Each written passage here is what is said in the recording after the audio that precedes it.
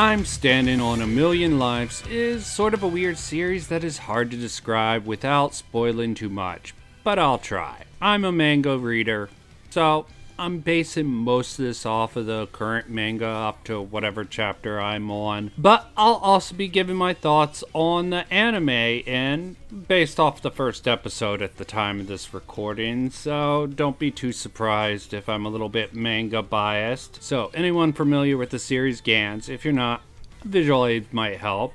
The Gantz man, you know, imagine him going through S&M training, lobbing off the top side of his head and deciding to send people to a fantasy world to clear quests with very deceptive conditions. While Yotsuya Yusuke isn't as much of a sad sack as Kei Kurono, he has a very similar negative outlook and outward apathy for the world at large. Both these main protagonists are thrown into very different circumstances. Minor spoilers for both series ahead. Kurono dies to get to a barren Tokyo apartment room where he and several other recently deceased people are told to fight aliens using sci fi technology by a black ball with a bald Bino man inside. Conversely, Yusuke is teleported to a fantasy world where he's told by that S&M game master the basic rules and given a starter class, which in his case is one of the rare ones of farmer. It's not revealed right away, but one of the rules of this game is if you die, you get revived in a certain time frame. It starts out at 30 seconds unless the entire party wipes then it's game over. On the surface, these two series might seem polar opposites. One being sci fi, if you die, you stay dead, and the other being a fantasy world where you come back almost unlimited amount of times. But the core elements do seem to run parallel with each other. In fact, I'm Standing on a Million Lives might be an evolution of the Gantz's game theory model but I might just be a crackpot. If ReZero taught us anything, that would be that sometimes surviving death is worse than just staying dead. Since they can't die, the loss of a million lives what's with that light novelish overly long name i'm just to call it million lives from now on takes a different form but the psychologics of it somehow remains the same in my opinion. The change in the game mechanics also reflect modern day games in a much better way.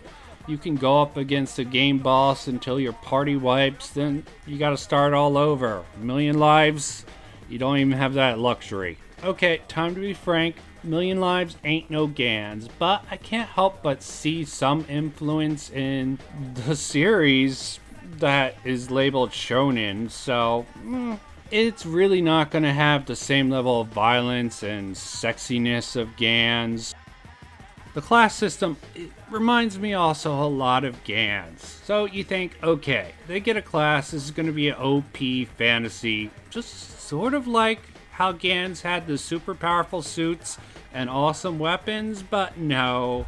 The classes, the basic starting classes suck. Wind Mage can pretty much a hair dryer. Then you have the inept swordswoman who base her stats off of her physical stats, which is a sickly girl from real life Japan. So, no. Of those a million lives referenced in the title, I would have to guess uh, roughly half of them are their own previous lives that they are standing on. And I must say, for people labeled as heroes, they sure do get killed a lot. Without that cheat code of lives, the game would be as over as soon as it started.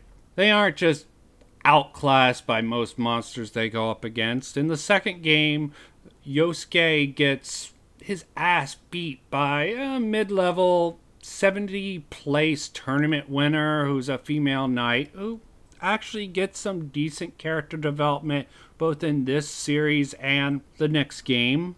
Now you might be thinking seeing the hero of the story get killed over and over again might not be very satisfying. But really, with the recent endless stream of overpowered isekai protagonists stamping and trampling all over the fantasy setting they're thrust into, it's sort of nice to see some major pushback to that.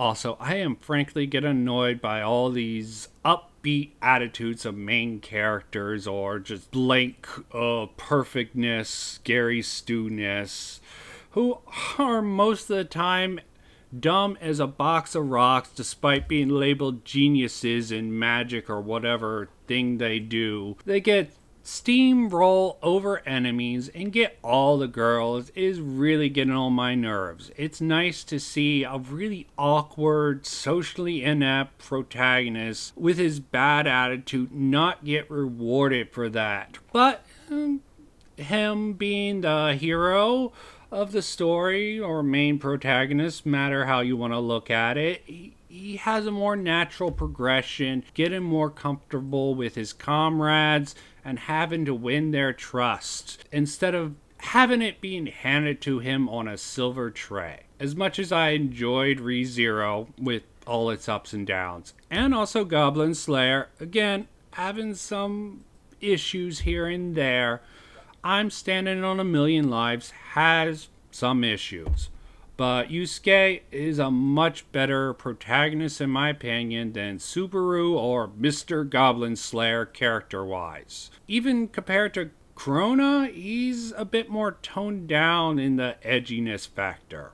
Now, I'm not sure how the overall anime will turn out. I only watched one episode, so I can only give you my impression on it off of that. The CG mixed in really isn't quite as bad as I thought it would be based on the trailers. Still pretty bad, but definitely not as bad as Commonplace Sun, or even some parts of the glorious Overlord series. The setup for the main character might have even been better in the anime compared to the manga. It has a good tone, good pace, pacing. The animation really isn't that bad. It's actually quite good for the newly formed Studio Maho. Sure, there are no Gainax, Madhouse, Trigger, or even IG, but it's not as flat as something like uh, Wise Man's Grandson, which is a personal cringe watch of mine that I am quite ashamed of. So,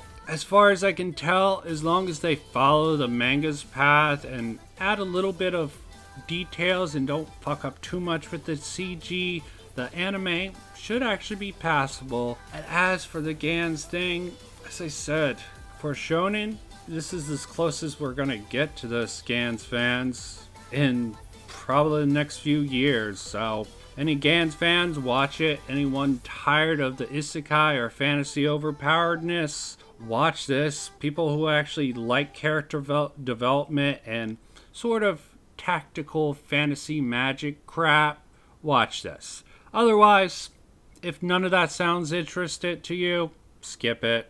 I'm sure something will come along to your taste. So much shit out there. Till next time, bye.